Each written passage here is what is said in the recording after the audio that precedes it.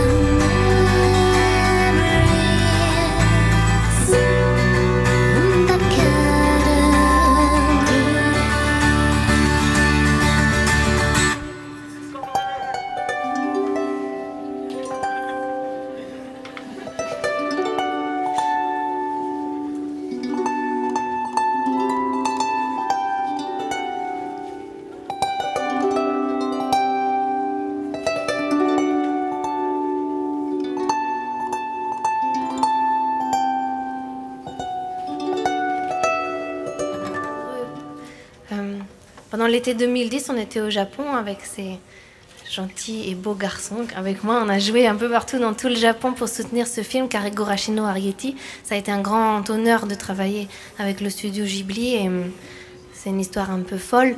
Et du coup, que le film soit sorti en France il y a maintenant trois jours, euh, j'étais d'abord angoissée parce que j'avais peur que le public français peut-être trouve la musique pas à la hauteur. Et puis, vois que la musique est accueillie chaleureusement. Je suis vraiment très heureuse qu'il soit sorti en France et que les gens aiment ce film.